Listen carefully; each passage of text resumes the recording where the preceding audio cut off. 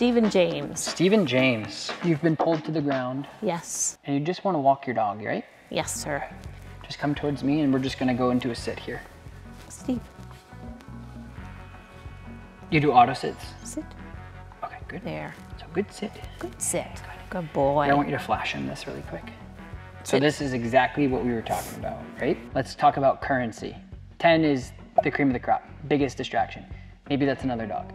This is a five, six. So we say, hey, I want you to sit. I want you to do this for me, right? Forget the sit. I want you to do this for me. Five comes around. What's that? Same thing as Lexi. So a correct, so we talk about enforcement. Right. And again, it's hard to get granular on like exactly certain things, but talk about enforcement. Um, the dog just has to care.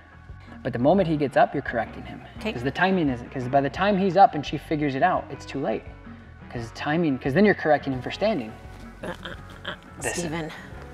That's exactly what we're talking about, right? So we get into a situation where he's like, yeah, but that's enforcement.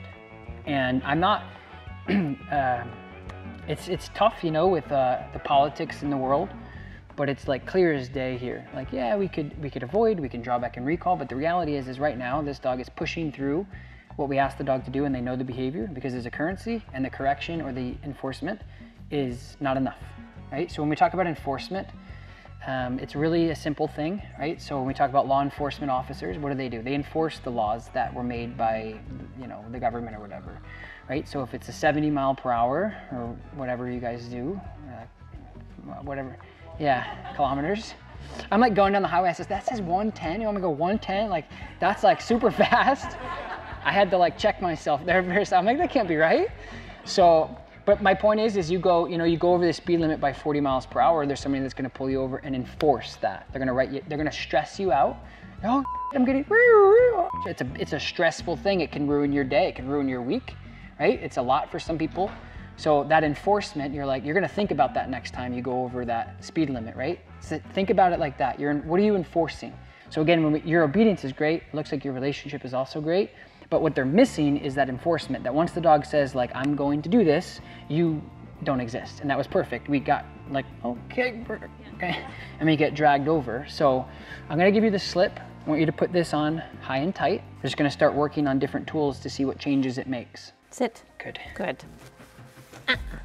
good, good. That was better timing. That mattered a little bit more. You're gonna hang out right there. We didn't get like yeah okay we got oh what was that? That was good. That's progress. Okay. Um, turn and face me completely. Good. Better. Good.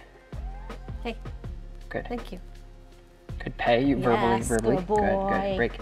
Beautiful. Break. So you talked a little bit about this earlier about randomizing things. So at that point, I would have equal or greater reward on me to be paying the dog so they learn. Like, well, I'm just going to listen to this person because this I get it anyway.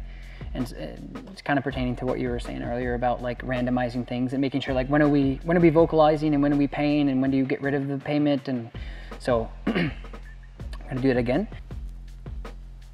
Break, break to me. Break? To me, to me, to Oh, me, to me, to to me. Pay him, pay him, pay him. Good, break out. Really good.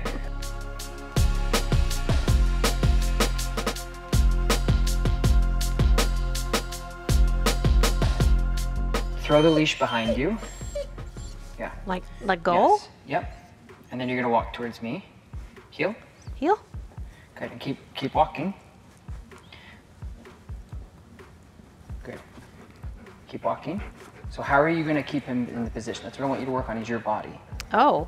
I wanted you to drop the leash so you're not so focused on the leash because I think you're putting 40% of your stuff in here. You're just hanging on to him with this. Don't try to control. I want you to control him with your body is what I'm trying to say. Okay. Because you're part of handling an animal is also just using your body. So use your inside turns. So if he's forging, you're turning with your leg. Yeah, he's running into your leg. That's what I want you to practice. So see, he's foraging here Yeah. because he wants food. So use your leg, cut him off, but also you can straighten him back out by changing positions. Good. You need that really quick step there. Good. But see how he's he's he's better there on this. I can just do like fancy stuff there. So look where he's at. Yes. Okay? he's always in front of you. Yes. So you need to use your body to communicate where you want him. You can also use your leash just a bit to kind of like give him a little power steering. You can pull him back a little bit, but watch his watch the leash here, okay? And watch where his watch where his body is. So I'm here. Perfect. Okay? Absolutely perfect. Heel. If I feel him forge, I want you to use your leash less. Okay. He's forging here. Correct him back out. A little bit of leash pressure here. Ah, ah. Good. So I want you to just practice handling with your body to move him around a little bit more. So you don't have to use your leash. I think if you take away your main source of communication, it helps you teach the dog in other ways. Your body is so important, it's such an important piece. And if you can, ma- eh, not manipulate, but if you can maneuver and teach a dog to, to work off your body, and some dogs will make you look better than others. He's in between. Sometimes he's on, sometimes he's not. But I just try to take away, like, okay, say you Heel. say um, you can't talk anymore. How are you going to communicate? It'll help you become a better communicator that way. So it's just something creative and fun that I'm noticing with these guys. Is like 40% of her attention is on the leash. Not necessarily she's using it 40 or 50 or 60% of the time. You can just tell she's always like, and, and everyone is, right? So I'm like, hey, take away the leash, then what can you do? And that's where I think the relationship and the communication will, it has to get better. Because if you don't, your dog's gonna run away. Good heel. Isn't that nice? I love this. So cute. Heel. Good. Good. So try not to use your leash at all. That's why I kind of had you drop it, but he's he's kind of flighty, so let's not do Okay. that. Good. Steve, heel. There. How, And so what do I what would you do? do? What would you do? I would do this. Okay, don't, but don't. Move forward, tap your side.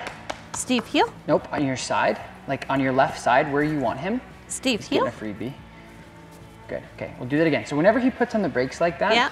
I want you to figure out how to turn him around and or move him out of the way. So there's two things that you can do. If he leans down and he completely disengages with you, you can push him away with your body and he'll roll over Okay. it. Well, he should. If he's anything like Lexi, he won't. Good. Good heel. Good.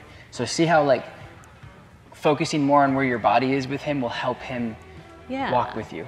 Because I feel like so many people put so much pressure on the leash, and the leash is the easiest thing Oh, to control a dog. But then what if I said like, okay, no leash, then what? Then you have to become really good at handling, right? Good. Your timing, your energy, your body, your movement. I think I had like a uh, life grip because Yeah, of, that's what I mean. I of felt him that. Lunging. like, oh, yes. yeah. I felt that, and that's why I wanted to take that away, but how? This is amazing. Yeah, yeah, it's a lot easier. I know. I love this. I'm so glad I came. Good. We're gonna have so much fun. We're See, gonna makes walk. the whole trip worth it. Because your relationship with your dog, you know, every day you're gonna wake up and have a better relationship. And even if I came and just you came, I'd it'd be totally worth it.